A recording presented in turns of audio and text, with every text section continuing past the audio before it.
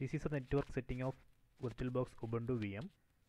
So I am using Ubuntu 16.04 so this is the adapter 1 that is NAT adapter 2 this is host only adapter and I selected VBox Net 0 so if you are using Ubuntu 16.04 or 15.04 server this setting mainly this adapter 2 setting is will not work for that we need to edit one file inside this VM so I will show you. Let me go to that VM so I am inside that VM so in this VM we need to actually we need to edit this file etc network interfaces.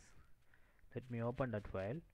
So in this file we need to add these lines to make this NAT and host only adapter in static mode.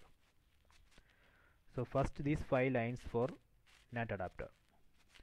So this is a NAT interface enp0s3 so I am making it static then I am giving one static address then netmask and gateway.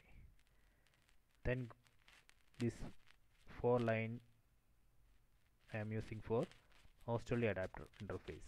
So this is the name of the host only adapter interface enp0s8 so this name is important. We have to give this correct name enp0s8 then I am setting that interface to static. Then one IP address I am giving. Then netmask so these lines are important. Then after adding these lines just save it.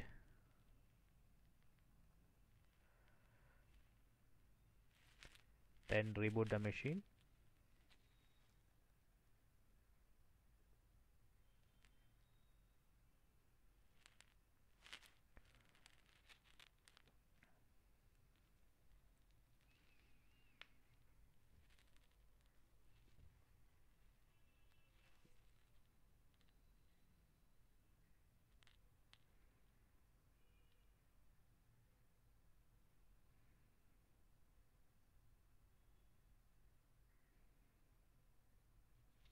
let me log in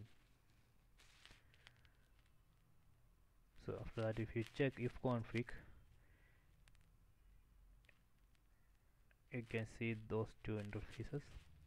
First one is enp0s3 that got the IP address 10.0.2.11 that's a NAT interface.